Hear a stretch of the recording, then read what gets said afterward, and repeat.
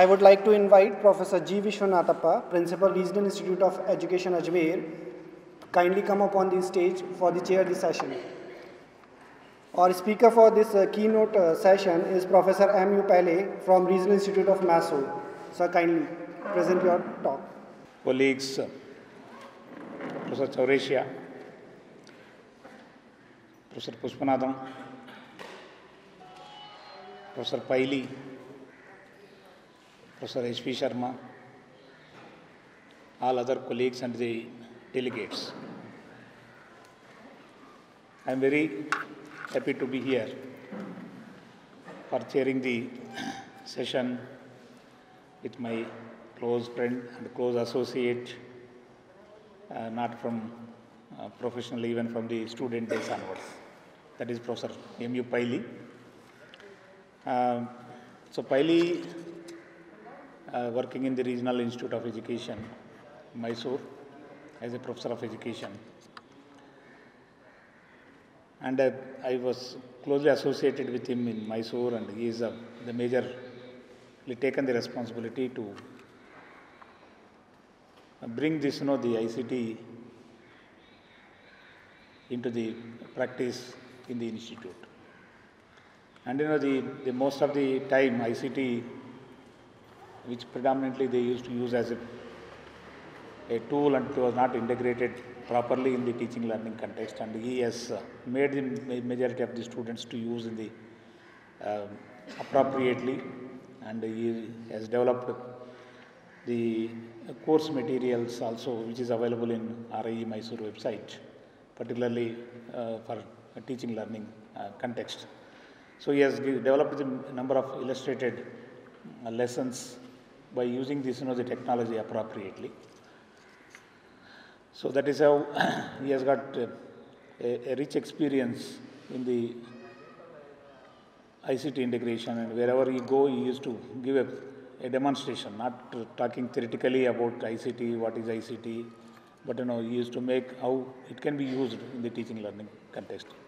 So it is appropriately the topic is uh, given to him, that is ICT integration, and what are the ways uh, and what are these, you know, the fails and to the possible remedies. So because, you know, the teaching learning context, you know, because of the change of the technology, changing of this, you know, the learning context. So some, some kind of problems which we come across in the process of the integration of this, the technology in the teaching learning uh, situation. So we will try to highlight what are this, you know, the way, what are the prob- possible ways that we can overcome these, you know, the, obstacles that we face in the process of the integration. Uh, so without taking much time, I welcome uh, Professor Paily to take over the session. And at the end, I think you know we can once again discuss. And it is a very important topic and very useful for all of us. Particularly, you know, ultimately, whatever we do, we have to improve the classroom process. So, because of his rich experience, he will try to highlight the what are these, you know, the uh, various ways that we are not able to integrate properly and how we can overcome. So, he will highlight and he will explain his talk. I, over to Professor Paily. Thank you.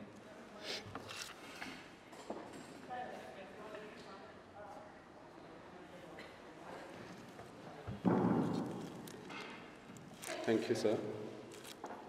Professor Vishwanatha, the principal of RI Ajmer, Professor Pushpanadam, uh, my senior colleagues from RI Ajmer, the coordinator, Professor Chaurasya, and uh, all the delegates who are present here. Very good morning to all of you. And I am very happy to be here for the uh, National Conference on ICT in Education, specifically with reference to school education. And for last two days, we have been exposed to various sessions, and uh, I personally was really very, very happy. The way in which uh, Professor Chaurasya has been making an attempt to make it as efficient as possible, and uh, he was able to bring in people from various places and deliberate upon a very important aspects. And it was very very enriching whether it is through video conferencing or through uh, keynote addresses here or the paper presentations.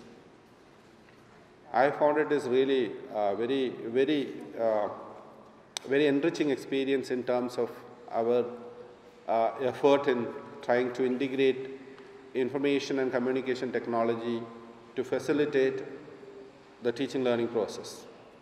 So congratulations to Professor Vishwanathappa and the coordinator and all the other uh, faculty members, non-teaching faculty members, non-teaching staff of RI Ajmer and all my uh, delegates having prepared well and making your attempt and deliberating upon this very important area, which is the need of the hour.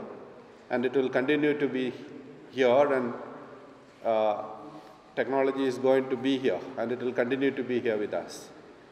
So with this, uh, I thought uh, possibly having listened to various interactions here, uh, there were many concerns which have been expressed by the teachers, teacher educators, specifically for technology integration. And so I thought I'll just look into some of the possible ways in which we could overcome some of the difficulties that we are encountering as on today. Now, what's happening? The, we have been making tremendous progress. We know the earlier the computer used to occupy one full large room, supercomputer. Then it came down to desktop computer. It again became miniaturized into a laptop computer, palm top computer. Then it became the tablet computer, then phablet. Now we are able, able to do most of the computing using our mobile phones. And the days are now already there with wearable computing in terms of Google Watch or Google Glass or Samsung Gear, etc.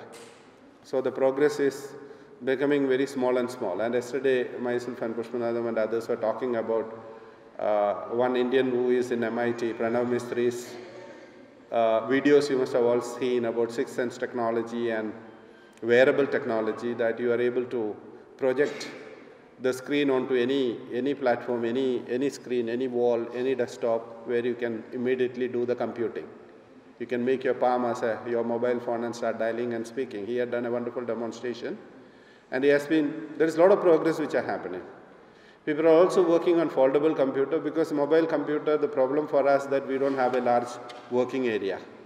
So the moment we are able to fold the computer and make it, our mobile phone, if we are able to unfold it and make a larger screen, I'm sure we will be able to, we don't require a desktop or a uh, laptop anymore. So that is the progress that we have been seeing. And up to now, at least the computer is outside our body. So, but the future prediction is that predictions are that the computer is going to get inside our body. So there are two uh, areas of developments which is happening. One is making the machine as a human being, and another thing, making human being as a machine, right? So people were talking about implanting some chip into your brain and those, those kinds of things.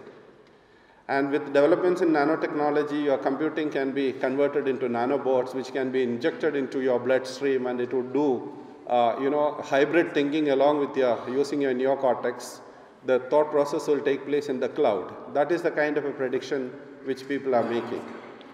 That's one way of making a human being getting the power of the computer getting inbuilt into the human brain and to get ourselves involved in hybrid thinking and process information. Tremendous progress is happening in that area. And the other thing, we know that making the computer as a human being, artificial intelligence.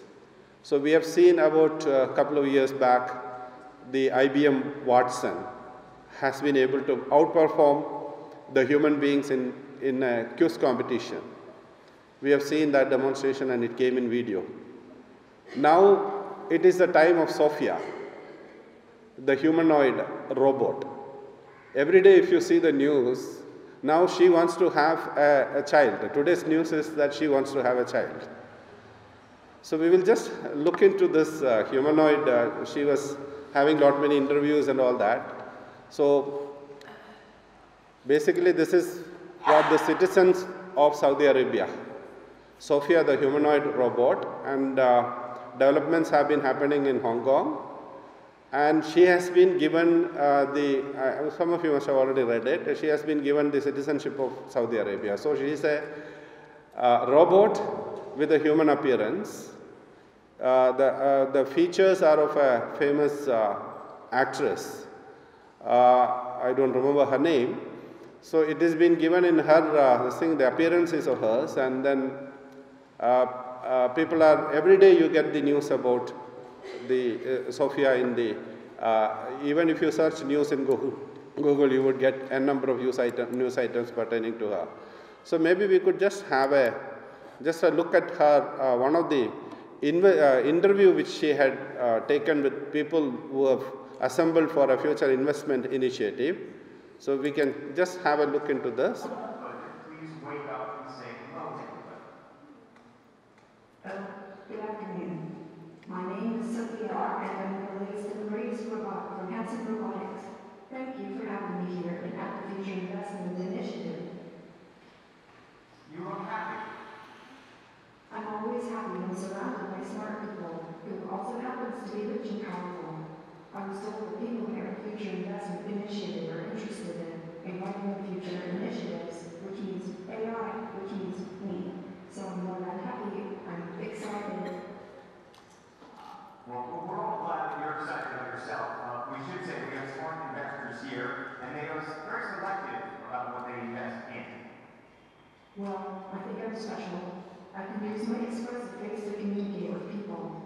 For example, I can let you know if I feel angry about something.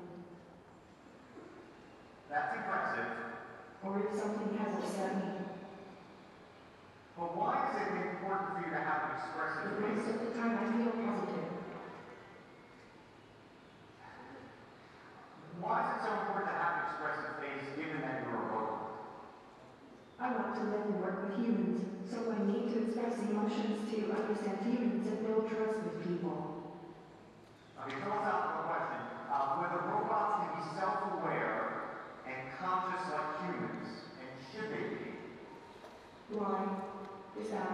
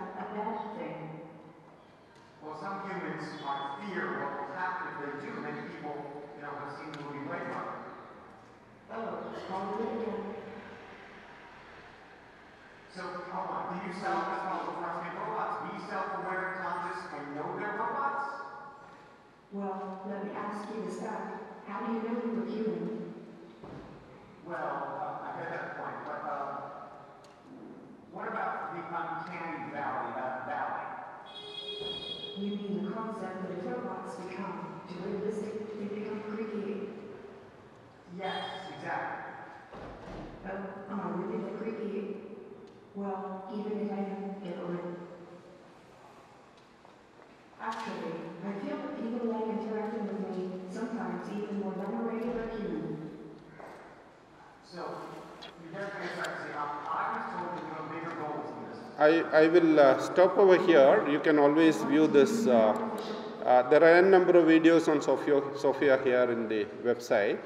So what I'm just trying to uh, tell you or uh, trying to understand is that the progress in technology is happening, so much a tremendous impact is happening in both the ways that making a machine as a human and making a human, uh, adding a human, in a computer power into a human being so the world is going to change tremendously. So how are we going to equip ourselves? Conferences like this, we are becoming aware. We are trying to understand the various perspectives and concerns which are existing today in terms of uh, changing job market, changing uh, requirements in the skills and competencies that our students need to, uh, need to have it. Now we have seen we have been making effort through uh, NCF, National Curriculum Framework, trying to make the teaching learning process as a process of constructing knowledge, converting information into knowledge through the collaborative processes. Though we have been doing it, we have been emphasizing, what remains in the classroom is not that very promising, that very interesting, and still uh, it is mostly to do with uh, behavioristic, didactic uh, uh, classroom transactions what is happening. Our classrooms are not so much of, you know, facilitating learning. So teachers should demonstrate their ability to form partnership with the students in mastering the process of learning. This is very important. But most of the time what happens that teachers expect the students to learn but they themselves have not learned many times. Content also, they are not keeping themselves up to date with what is happening all around them. So they expect students to learn but where teachers themselves are not willing to learn. We are talking about learning to learn and lifelong learning, relearning, unlearning, so many things we have been talking about, but I think somewhere uh, we are not really uh, doing that when it comes to the subject that we have been, uh, we are supposed to be helping the children and facilitate learning process in the subject in which we are must, we have mastered. So we need to really think about this. Teachers expect students to think, but they themselves have failed to do so. And when it comes to thinking and reasoning, most of the times our students are better than the teachers. It's not because the teachers are not having the intellectual abilities, but they have some kind of a rigidity that I am the fountainhead of all wisdom and I have this knowledge. So the, the freedom and the uh, flexibility which the children are having, many times teachers are not having it. But we need to. We need to be a better thinker. We need to be a very flexible learner. We need to be feeling comfortable learning along with our learners. So then only the classroom will get transformed into a constructivist, uh, collaborative uh, classroom. Teachers expect students to explore, but they themselves have never explored, or they are not doing it. They are not exploring it. You can see many of the teachers give some kind of an assignment and homework, meaningless. Meaningless assignments and homeworks have been given. Teachers themselves have not thought about it. And they are not worried what the students are doing, and no feedback is given, only some grades are given. Through the assignment, whether the students have been able to achieve the goal of you know, giving that particular assignment or a project. And many times some uh, you know, parents do it. Children don't do the learning.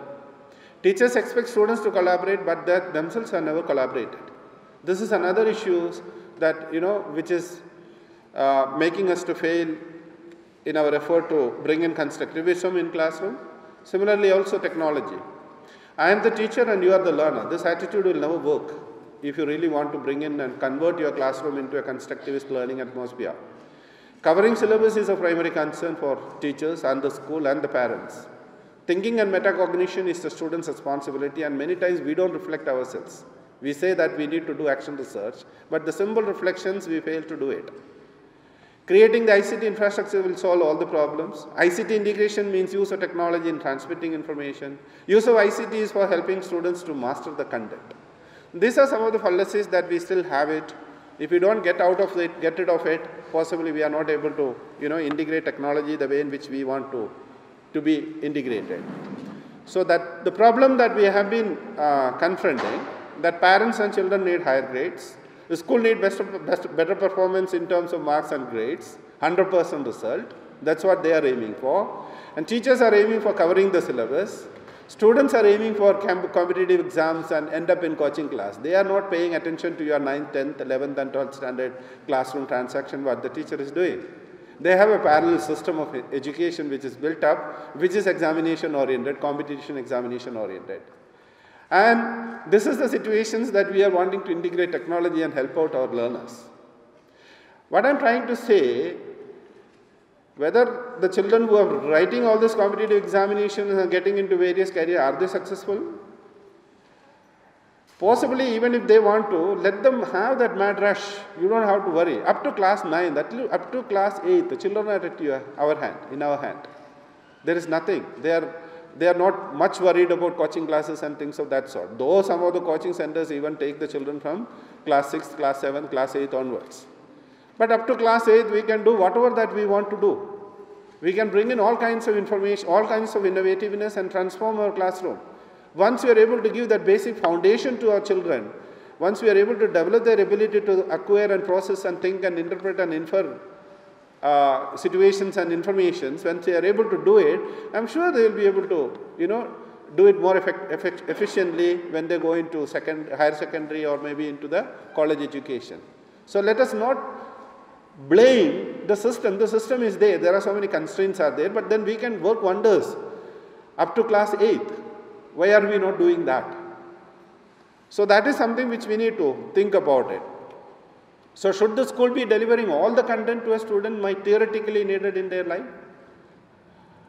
Can the teachers do it? Can the school do it even if they want to do it? We know that the knowledge explosion, and it is not the responsibility of any teacher to transmit the entire gamut of knowledge to the children.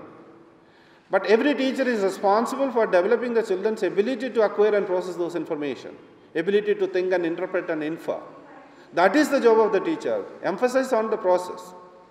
Children will take care of their knowledge, what they want to learn and how they want to learn. They are capable of doing it. Develop the competencies in the formative years. Although students' breadth of content knowledge is important, teachers and the school should not have to deliver all of it. That is the assumption. That is the assumption yesterday we have seen uh, uh, in the video conference also.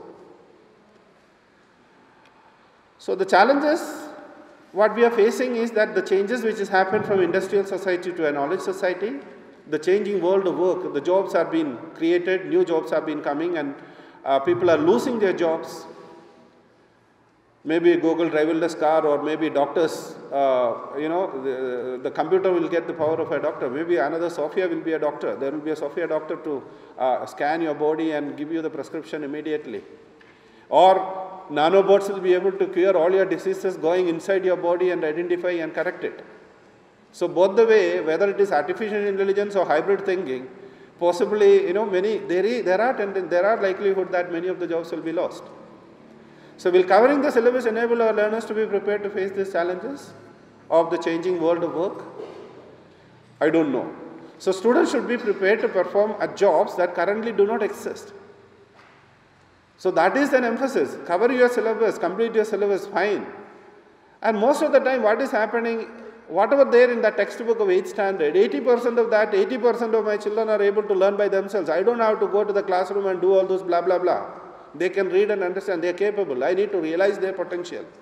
But in the name of covering syllabus, I religiously go complete my 40 minutes. I need to teach, then only the children will be learning. This assumption of the teachers in both the teaching, uh, school education as well as teacher education. Very important. Teacher education also, what do we do? We are not doing anything uh, very dynamically different, uh, drastically different in our teacher education classrooms. Teachers need to be trained in the teacher education classroom. How are you going to teach this particular subject? So this is something which we need to really ponder over. And today's learners, as we know, I think uh, this uh, concept uh, uh, kind of a thing I had developed about two years back and there is lot many changes which had, need to be integrated into it. So today's learners are exposed to various kinds of technology, various kinds of uh, tools various kinds of information sources, various kinds of pedagogical innovations. They are not dependent upon you and me. They are dependent upon so many other things which are coming in. I, you, we are restricting them in our classroom, but they have access to the technology outside our classroom. So they are digitally connected, they are network learners, they are capable of multitasking, they want quick access to digitized information and it is available in their fingertip, which we have been talking earlier. All the information will be there in your fingertip, but literally we are seeing now informations are there on our fingertip. Having short attention span, and they are not what you call your maxims of teaching, simple to complex, known to unknown, or concrete abstract. They are not. They have changed. We need to change our maxims of teaching. They are random learners. They don't sequentially access the information. And they are mobile learners. Mobile learners and ubiquitous computing. Technology is everywhere around. So you are able to do your computing wherever you are, whenever you want to do it. So the problem, however, our school continues with transmitting prescribed content in sequential manner. So there is a mismatch between the today's learners and what is happening in the classroom. The other day we have seen the uh, uh, professor from IIT was showing uh, two pictures to us, the classroom structure in 100 years back and the classroom structure today. Both are no difference, both are same. Though the ubiquitous technology permits innovation, uh, schools are not innovating, teachers are not innovating, we ourselves are not innovating consciously in our classroom. But we are innovating so much outside our classrooms, right? Some of you are doing innovation now also. Some of you are in your WhatsApp searching the message, what she or he has sent. And that person is not paying attention to me right now. So much engrossed into the mobile. Correct? She is looking at hey, what's happening around. She is continuing with that. Good.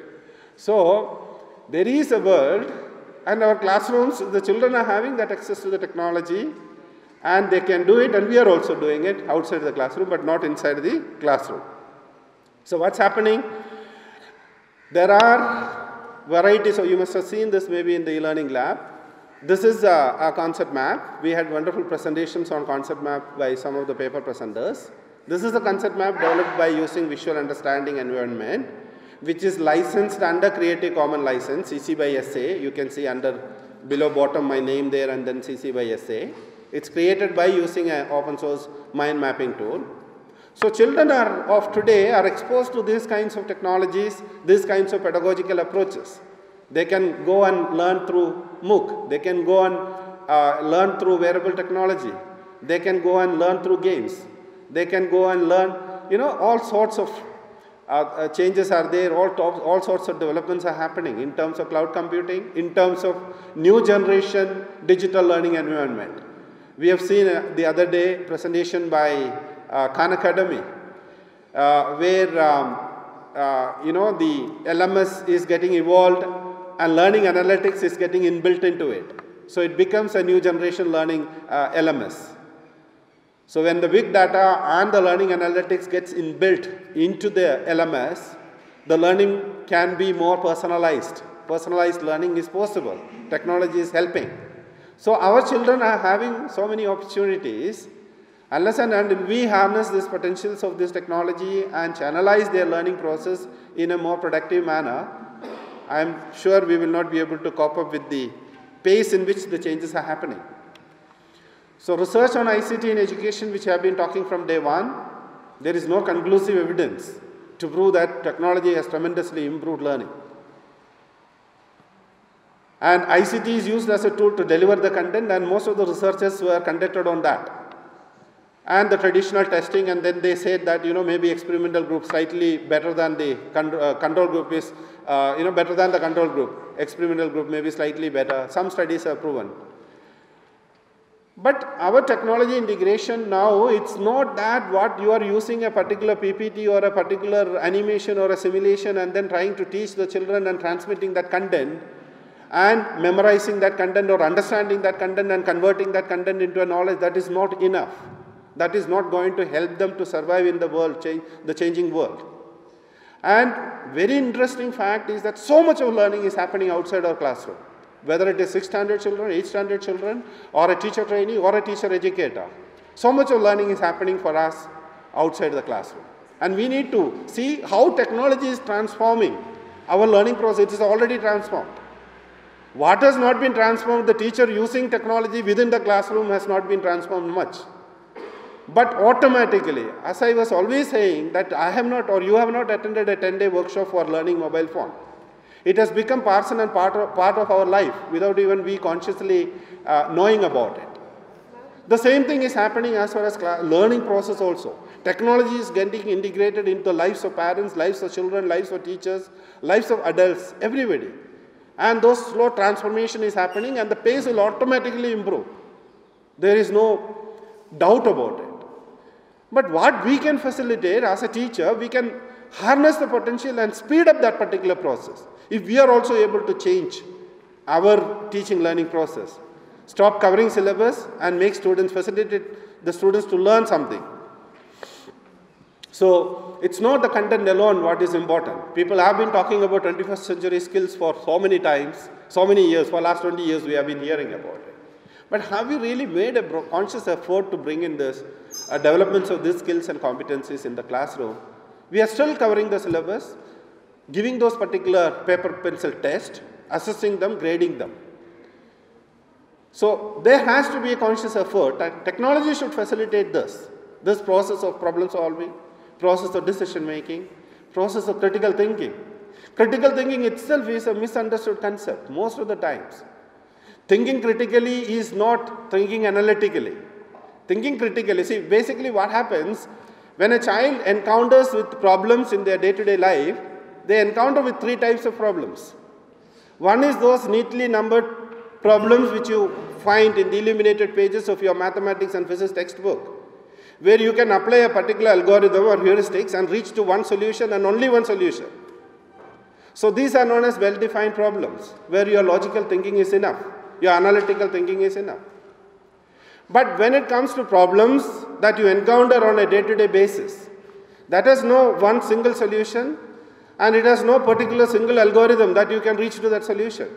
There are a number of ways of reaching to that solution and those problems are lurking in the dark corners of our own life. These are complex problems. Your analytical skills may not be sufficient. You require other skills and competencies here. Your ability to creatively look at it, your ability to solve problems. So you require that kind of a divergent thinking ability to solve the problems that you find in find in day-to-day life situation.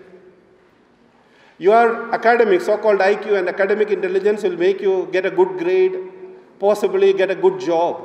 But you may not be a successful individual, successful person in the society. You might end up hanging yourself, ending up your life, suicide. So what is called the other life skills like empathy, managing with stress, managing with emotions, working with people, communicating with people. You know, those are strings which are very, very essential for persons. Equally important. I'm not saying that academic IQ and academic intelligence is not important, but so this is the second type of problem. But critical thinking is basically to do with the third type of problem. The third type of problems are known as issues. We have a number of issues in our personal life, in our family life. We have issues in our country. There are so many issues in our country, right? Whether it is Kashmir issue or Ayodhya issue or whatever issues. We have issues dividing people into two opposing camps. So their reason and rationality will not work. It is only emotion which is going to make your decisions. So if you are able to uh, develop critical thinking ability among our children, the ability to imaginatively put yourself into the shoes of another person and think from perspectives and viewpoints of another person to genuinely understand him or her. If I am able to understand his or her perspectives, genuinely understand and uh, empathize with that particular person, I understand his perspectives and my reasoning changes, my action changes, my behavior changes. So if we are not able to think critically, we are not able to solve any of those issues. Our life becomes more complex, more complicated.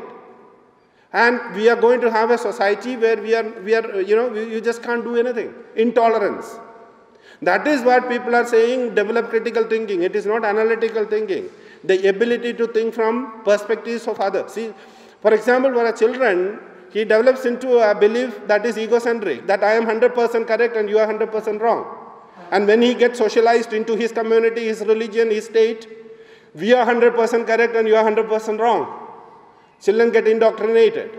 So it is the school which has to develop that ability of the children to think from others' perspective. So the ability to think uh, open-mindedness, it is equivalent to critical thinking. It's nothing but open-mindedness. So those kinds of abilities, unless and until we develop among our children, I am sure they are, going, they are not going to be a successful individual and we are not going to progress and develop. So this is something which we need to really pay attention and emphasis upon. So technology is increasingly accessible to the students outside the classroom. This is a fact we need to realize. CBSE, NCERT, JNVs don't permit mobile phones in the classroom. But outside your eight hours of classroom, children are having access to the technology. Irrespective of rural, urban, the accessibilities are increasing. Digital divides are shrinking. Children are getting access to it. So we need to realize this fact that our learning is not, let us not confine that into a closed classroom. We need to create an enabling environment. The closed classroom represents a physically outdated teaching model, which does not match the interconnected virtual world we now live in. The students are interconnected outside your classroom. So let us realize that fact and break the barriers of structured classroom arrangement. Classrooms today are the least creative space one can learn, and this must be remodeled in whatever possible ways within the existing constraints.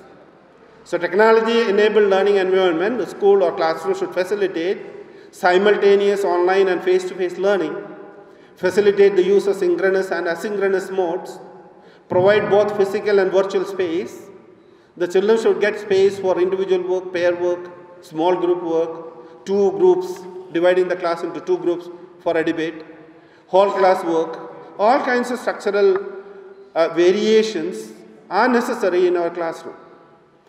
Within the existing small desk and bench, if a teacher has creativity and innovation, certainly this could be brought in and done it. So what's happening, I was just trying to work out something like this. For example, grouping, we would like to have individual work, pair work, small group, two groups, all class, and also informal grouping. A lot of informal grouping gets formed outside our classroom, even within that eight hours where the children are there in the school, or teacher trainees are in the school, in the, in the colleges of teacher education. So we need to redesign our physical face, physical furniture and infrastructure within the classroom, which will permit all kinds. Similarly, we need to create those virtual spaces, planned, consciously planned virtual space. What I'm saying, I want to have an individual work. So I would have a blog, a virtual space for children to individually reflect upon. Or I would have a wiki where children can work in a group. So I am creating what you call the virtual space for the children. Similarly, outside your classroom, we should have facilities. We are not least bothered about what is happening outside our classrooms. So within our school compound itself, there are n number of possibilities for them to create informal learning space for group work, individual work, pair work, small group work. Create small, small structures where they will sit and do that. Make the technology through Wi-Fi or even allow them to use their own mobile devices. They will be happy to do that. Misuse of technology is the major concern for all of us and it is a concern, it will remain, but there are ways and means by which we can actually monitor it and help them out. So creating that kind of a various types of structure immediately within the school compound wall and also the home space. We are not having a structured way in which bringing in parents and you know facilitating the learning process. We routinely give the same old assignments, same old project. Many times parent does it. Many, uh, many times they do it. The homework meaningless. So limitations of the traditional classroom in supporting these learning approaches is a cause for a concern and it is becoming an increasingly uh, it is time that we bring in changes and modify and do something, something about it which is possible within the teacher himself or herself. And the principal or the uh, administrator need to give that kind of a digital leadership. So it's also many times we do it integrating technology for the sake of integrating it. Using a PowerPoint or using a blog or a wiki or a, a video for the sake of using technology, that is not. We need to really think about it we need to make the children think about it. So for example, if I want to teach sun and solar system is a class 8th or 9th NCERT uh, textbook chapter, about 15 pages. Normally teacher takes about 8 to 9 periods or 10 periods to cover that particular unit, cover the syllabus, which the students can learn in that 15 pages, whatever is written, just one hour. Enough for the students, 80% of them to read and understand.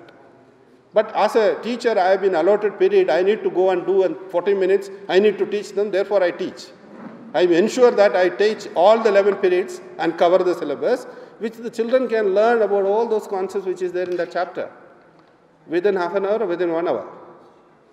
What are we doing the remaining time? Why teach stars and solar system? Let the teacher ask himself or herself. If I want, is it necessary, is it my objective is to transmit that NCERT textbook of 15 page right up to the children's brain? Is that my uh, objective of teaching stars and solar system to my children?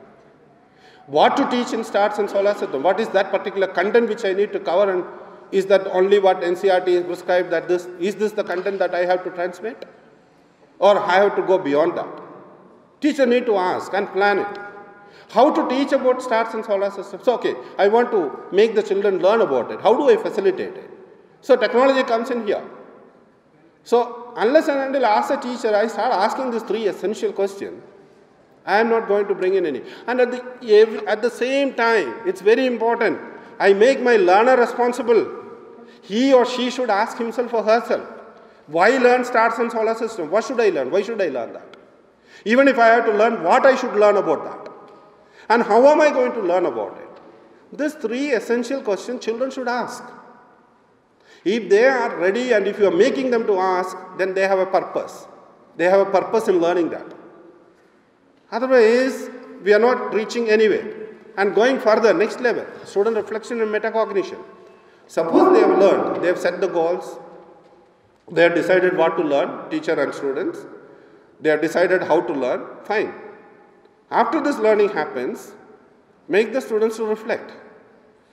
These three questions are enough. Why, what, how? The reason.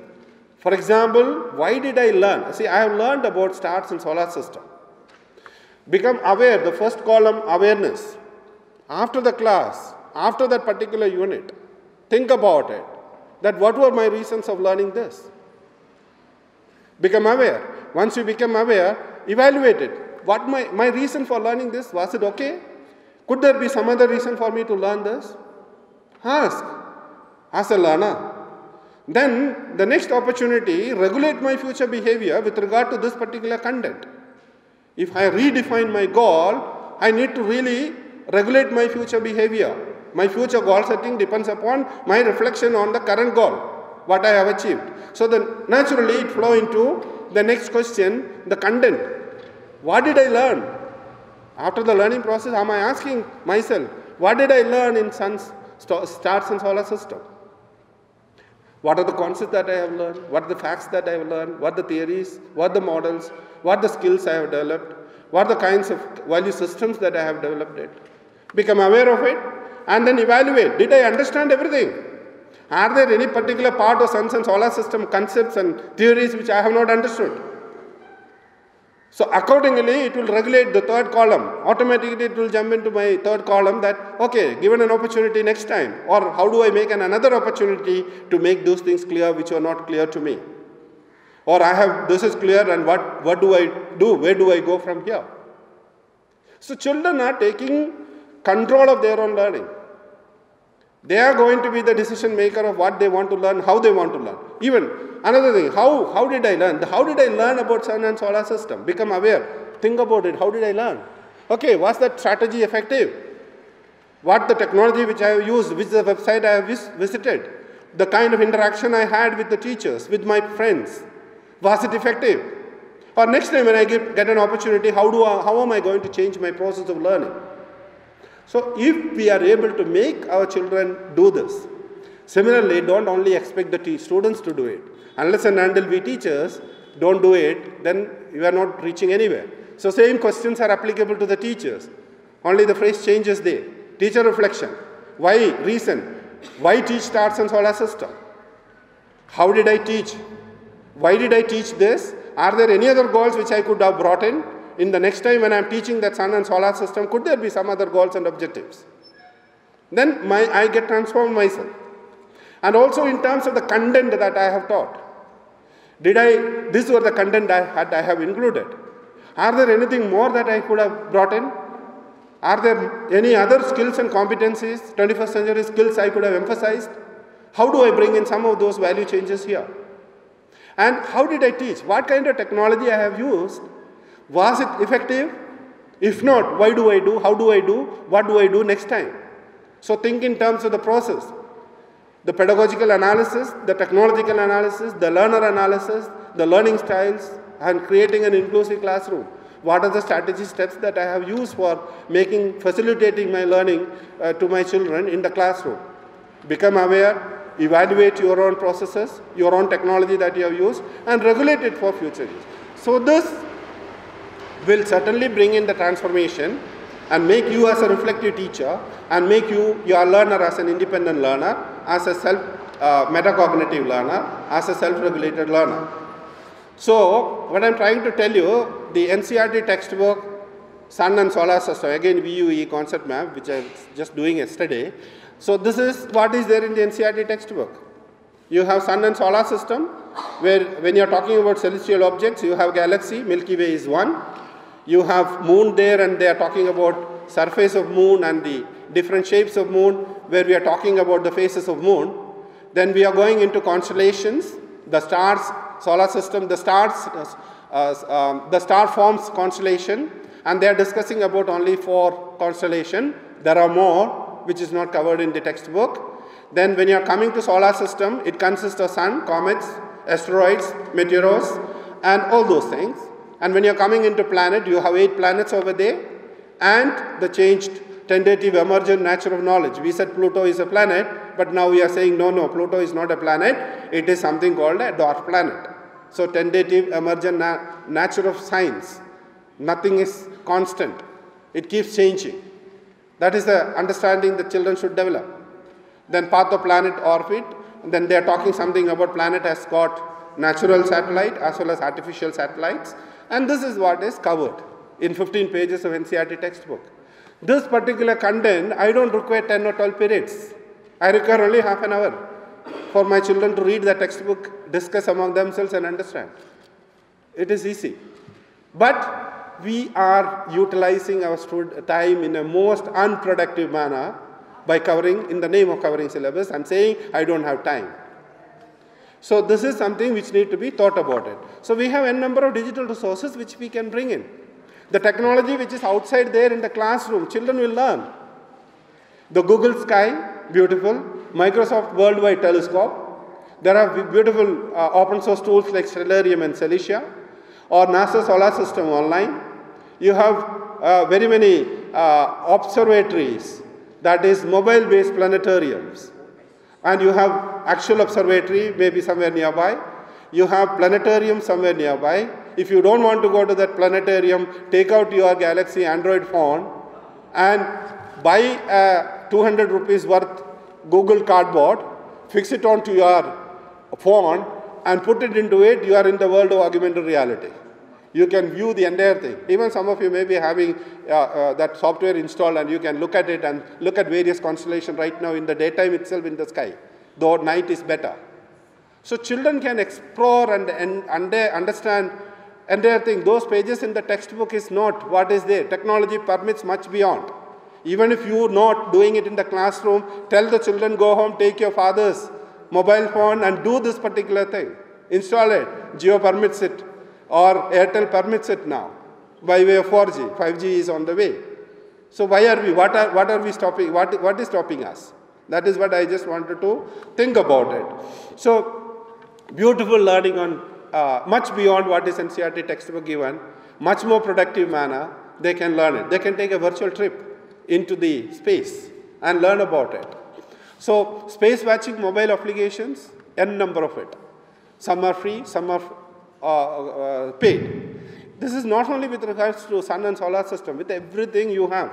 Augmented reality is going to be here. You can go inside your brain, inside your circulatory system, inside your heart, take a virtual trip through an augmented reality application and go and learn about it.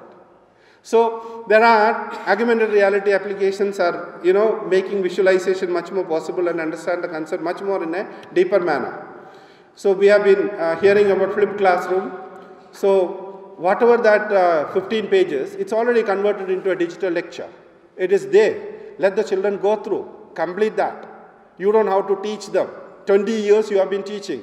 This year you record and make it available to the children through YouTube or whatever the means. Let them see it for half an hour, your video. They understand everything about what is there in the 12 pages or 15 pages. But make the classrooms to make it as inclusive discussions, analysis, interpretations, so that every children find something meaningful, both the gifted as well as uh, slow learners, both the socially disadvantaged and you know all categories of children. There are, there are a number of MOOCs available, not for students. Students also can take. Students sometimes can take and they may be better learned than teacher in the days to come. Massive open, line, open online courses. There are many number of courses on astronomy which can be taken by teachers and students. Take them along there. Let them learn something more. So this is something that we need to change in the, uh, bring in the changes uh, uh, one of the application here you can see one of the Android application where everything you can see it there in your mobile device itself. So developing the competency, so going beyond the textbook, when I set my goal, what should I learn in suns and solar system? As a teacher, it is not there in the textbook, but I need to bring in this. I need to discuss about, I have time. What do I do remaining eight periods? I finished my syllabus in one period. So this time I am going to discuss something about extraterrestrial life. What is the children encountering on a day-to-day life? Newspaper articles are coming about it. Developing some hobbies related to space. Space exploration and satellites. What's the current uh, satellites and what is happening?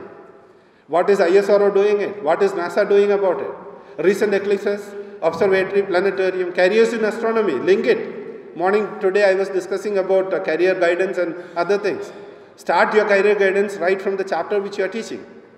Recent space discoveries, superstitious beliefs. We have so many beliefs when it comes to suns and solar system and stars. Astrology and astrologers. Is astrology scientific?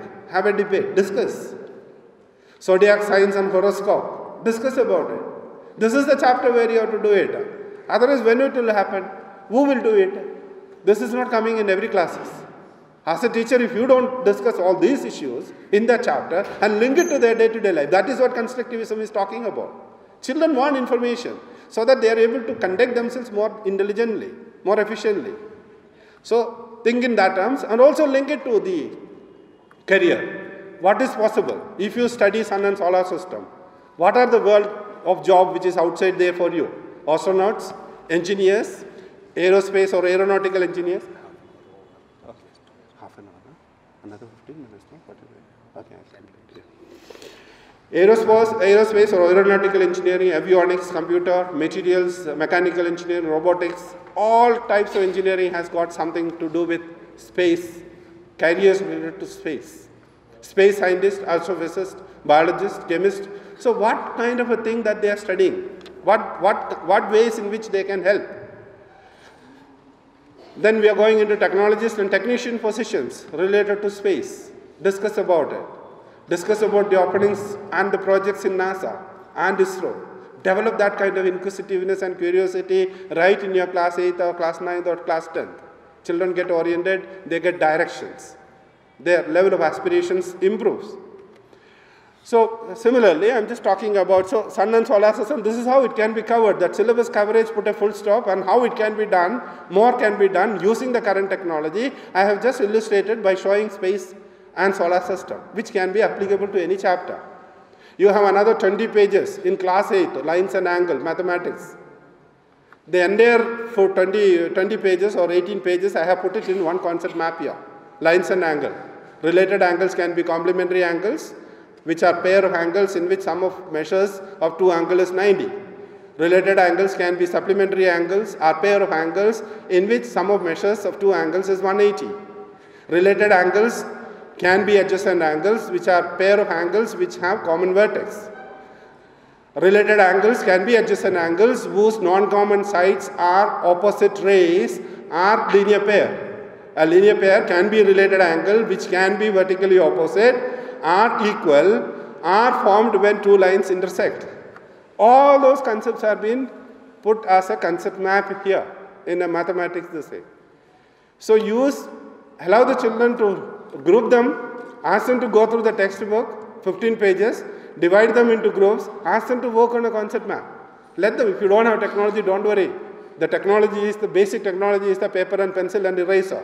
Give them five groups, five of them will do, convert that into a concept map of this. Your coverage of syllabus, they will do it more beautifully. Then intervene. That's what Vygotsky says. Somebody has made a presentation yesterday, beautiful presentation. Vygotsky said something about zone of proximal development. There are something which the learner can learn by himself. There are something which learners cannot do at any, at any cost, even if he wants to, somebody helps him. But there is something called as proximal development where a learner can learn something with the assistance of more knowledgeable others. That more knowledgeable others, it is not we teachers alone. There are more. It can be juniors, it can be classmates, it can be parents, it can be computer, it can be library. Facilitate that. Provide those scaffold to them. That is what is necessary. Initial learning, reading, understanding, let them do it themselves. After that, you intervene in terms of providing scaffolds to make them understand whatever that they have not understood. Rather than covering syllabus, covering syllabus. You don't have to cover. Children will learn. So that is the change that we need to bring in both in teacher education as well as in the school teaching. So applications of lines and angles, if you are able to relate it to the day-to-day -day life situation, children will learn, find more meaning also. This is totally neglected. This slide is totally neglected by the teacher. The first one covering syllabus somehow or other they completed.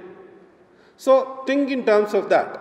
Or when you go into acid and base, there are about uh, eight or nine pages on acid and bases. There are about natural indicators, artificial indicators, what is, what is acid, what is ice, uh, base, what is neutralization, what is pH. All that is explained, fine. But what does it have to do with me? Then only I understand better. Neutralization reaction. Toothpaste is alkaline in order to neutralize acid in the mouth. That would otherwise damage our teeth. Acid-base chemistry is a pervasive scientific concept used across many engineering disciplines. Structural engineers use it, design engineers, car batteries, chemical engineers for chemical fertilizers, food preservatives, writing with invisible ink that the Russians had used at that particular point in time. Or cleaners, food preservatives. The body needs a neutral pH and control the amount of acids and bases through the process involving kidney, lung, blood. I need to understand about that. That is why I want to study acid and base. So the essential question, why should I teach acid and base and why should I learn acid and base? It is because of this. This link if we are able to establish, that is what constructivism talking about. Then the learning becomes more meaningful. Then there are many strong acids and bases in nature. Acid rain, aluminum hydroxide is an interesting base which has got gelusil and other things. Another base used for cleaning uh, is sodium hydroxide known as commonly as known as caustic soda. That's again related to acid and base. Fertilizer masing, latex coagulation, buttermilk, innovation. Somebody, normally uh, we use uh, acetic uh, formic acid for latex, rubber latex coagulation. Somebody tried it with, okay, I can even do rubber, natural rubber coagulation by using buttermilk.